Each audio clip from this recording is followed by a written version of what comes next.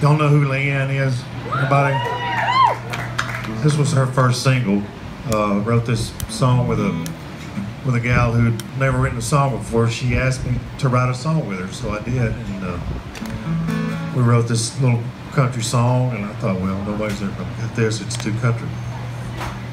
Well, next thing I know, about two months later, somebody named Lee Ann Womack on Decca Records had cut it. I never heard of her, and I thought, well, that's cool, you know.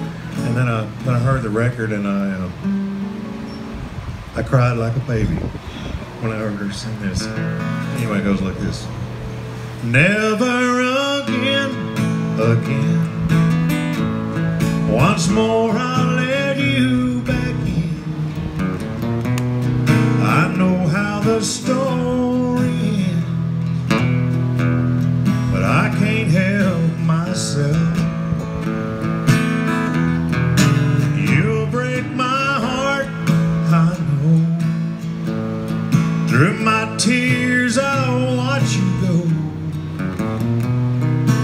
just like it's always been, I'll say never again, again. Each time you leave, I say I've had enough. But I must be addicted to your the hard part. I swear to myself, I'm gonna stand my ground. But one look at you breaks my defenses down. And here comes never again, again.